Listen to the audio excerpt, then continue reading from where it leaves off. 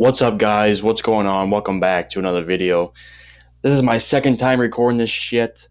I just got done recording it, and I noticed that the freaking sound was not working, so I gotta restart and do it again. So let's go ahead and get over this with guys. So let's go ahead and get over with it. Um, first game, you got the Bills and the Chiefs. This should be a really good game to watch.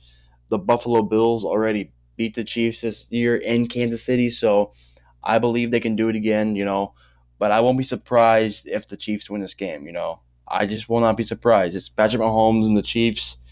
I'm not going to count them out, but I'm going to go with the Bills here. I don't know if it's an upset or not, but I'm just going to go with the Bills here on the road to get it done. Next game, got Bengals and Titans. Another good game here, which I can. I, it's kind of a toss up in this game for me. It's a toss up, but I am going to go with the home team here. I'm going to go with Titans here. I'm feeling the Titans are going to win this game. I believe the Titans could go all the way, all the way. You know, this might be the Titans' year. Um, just got Derrick Henry back. You know, obviously they have um, Julio Jones and um, AJ Brown. You know, they have a really good team.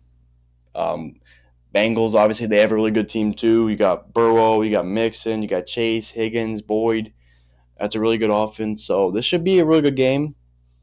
I'm gonna go the Titans here to win this game, but I won't be surprised if the Bengals upset. I won't be surprised. I will not be surprised. The Bengals are a hell of a team. They are.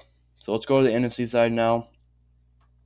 Um, I saw a lot of people are picking the Rams to win this game because the Rams already beat the Buccaneers in LA this year. But I'm not gonna go against Tom Brady. I'm not. I'm gonna go with the Buccaneers. I feel like the Buccaneers are gonna get this job done here this weekend and they're going to advance to the NFC Championship game. This should be another good matchup.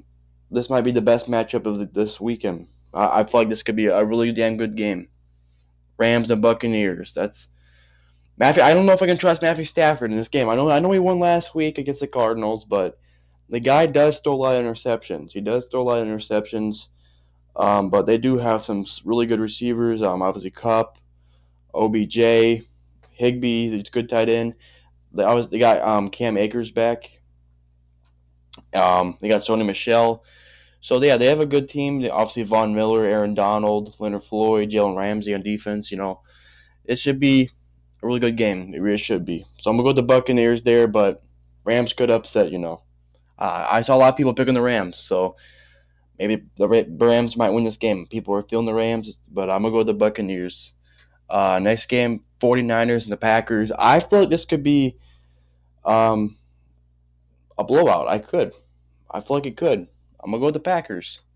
This might be. I think it's probably the worst game of the week. The weekend. I don't know. I just might. Maybe it's me. Maybe it's just me. But I'm just. I don't feel like the 49ers are that good of a team. I just don't feel like the 49ers are gonna be able to stay in the game with the the Packers. I just don't. Jimmy G sucks. Jimmy G is atrocious.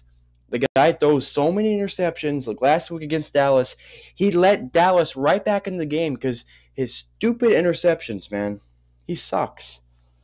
Um, I'm going to go to the Packers. It's in Lambeau Field. I know the 49ers kind of have the Packers number over the years, but I just don't see Aaron Rodgers losing it in Lambeau in, in this game. I just don't see it happening.